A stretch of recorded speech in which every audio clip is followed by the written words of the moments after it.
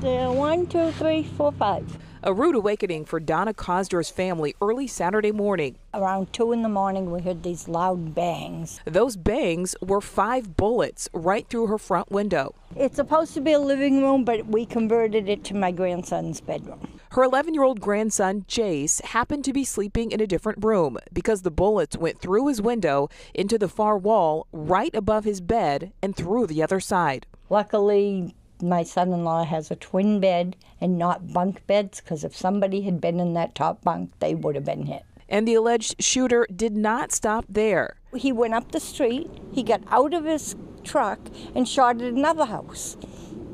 Then he got back in his truck and took off, drove around the corner and pulled into his driveway. And this guy just went crazy. No one was hit, but 51 year old John Papalardo, who lives right around the corner, now faces numerous charges. Eight charges of assault by means of a dangerous weapon. He wouldn't show his face in court today. Mr. Papalardo, can you hear me? For now, Papalardo is being held without bail, and Donna Cosdra is still shaken by what happened. I've been here for 50 years and nothing like this has ever happened. Just hoping that they put him away. No motive is known. Papalardo, Papalardo appears in court again next week for a dangerousness hearing. Reporting live in Methuen, Nicole Burley, WCVB News Center 5.